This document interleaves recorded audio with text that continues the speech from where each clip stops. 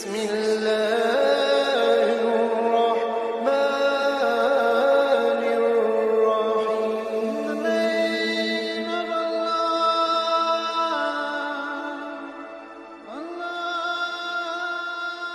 Nahnu nu'min bil qadar al kauniyah wa naltazim bil qadar asyariyah. No.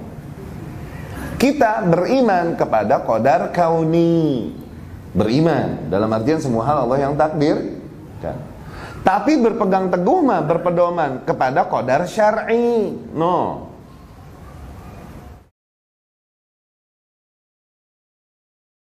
Di antara usul-usul dan kaidah-kaidah qadar, oke? Okay? Qadar ada dua. Qadarullah al-kauniyah sama syar'iyah. Al-kauniyah apa pun yang Allah kehendaki di alam semestanya untuk terjadi.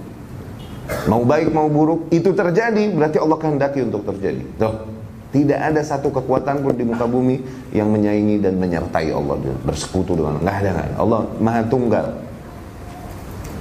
Kauniyah. Apa pun yang terjadi.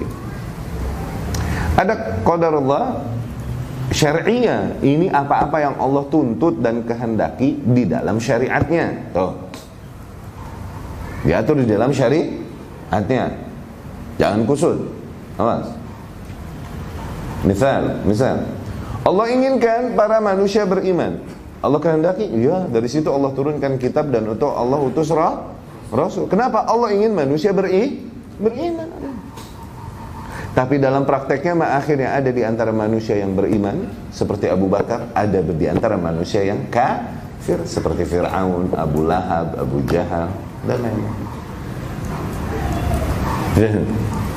Jadi yang harus terjadi di alam semesta mah kodar kau nia yang ideal-ideal sebagaimana yang Allah tuntut di dalam syariatnya ini dibilang kodar syar'iyya. Ya, ini berkaitan dengan kehendak Allah nanti.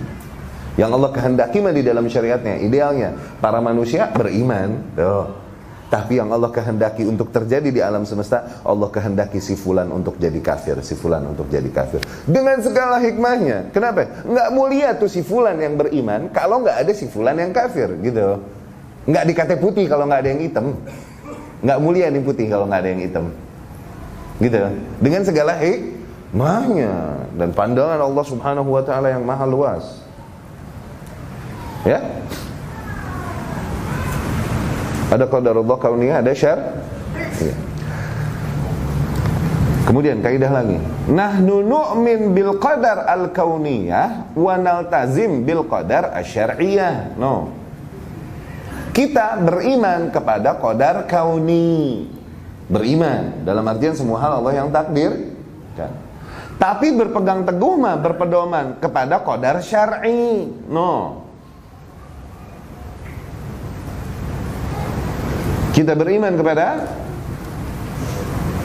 Bro, kepada apa ya? Qadar kau? Nih.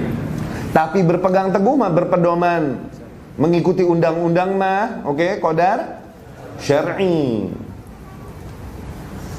Ya? Mengikuti halal haram, wajib apa sunnah dan lain-lain, ikuti hukum syari. Ah, tapi kita beriman bahwa apa pun yang terjadi Allah telah tentukan. Oke? Okay?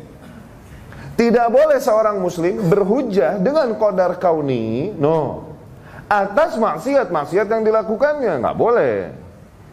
Bro, ente kenapa maling? Iya nih kodarullah. Nggak sengaja aneh nyofet tadi. Nggak boleh. Tapi bener nggak takdir bahwa dia nyopet? Kalau terjadi ya beneran takdir, tapi boleh nggak bilang, iya kodarullah nih. Boleh nggak? Kagak boleh. Kenapa? Dia mah berpedoman ya kepada kodar syar'i nyopet itu haram. No, begitu. Jadi jangan kodarullah dia kata aturan astagfirullah. Dapat? Jangan kusut. Ya? Oke udah kalau ngaji ngaji aja nggak usah nyopet. Ya. Di bus udah nyopet sih.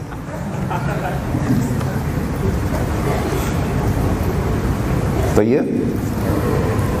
Kemudian, yang namanya beriman kepada takdir full adalah pertama menerima bahwasanya itu semua dari Allah Subhanahu wa taala.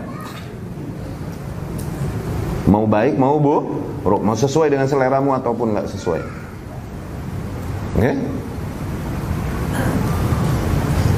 Kedua, menyikapinya sesuai dengan tuntunan syariat. Tuh. Nggak cukup mengimani dan percaya bahwa ini dari Allah. Hah? Tapi menyikapinya semau-maunya dia belum beriman kepada tak takdir berarti dia belum beriman dengan baik kepada takdir. Sebagaimana seorang hamba, misalnya nasibnya kurang bagus, miskin dan sakit mulu, oke? Nasib nggak? Takdir nggak? Takdir dia beriman, ini takdir takdir. Tapi kemudian menyikapi sakitnya ini, menyikapi nasibnya ini, heh, ini nasib begini amat ya, suwe amat. Sholat iya, puasa iya, miskin iya, sakit iya. Tuh, kufur gak? Kufur, nggak boleh. Kalaupun dia percaya ini dari Allah. Tapi ketika menyikapinya, nah, tuh, tidak sesuai dengan tuntunan syari. Sama kepada penguasa, Peng- keberadaan penguasa yang buruk, oke? Takdir gak? Apa yang bukan takdir terjadi kok, gitu kan? Kalau terjadi berarti takdir. Kita imani itu dari Allah. Tapi ketika menyikapinya tidak sesuai dengan tuntunan syariat, dimaki-maki, dicela, di demo, dijatohin, nah dia masih belum fully menerima takdir. Menyikapinya belum dengan cara yang dituntun oleh syariat. Dapat?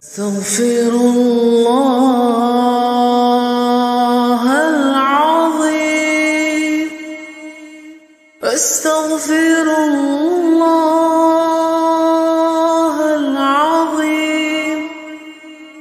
فاستغفروا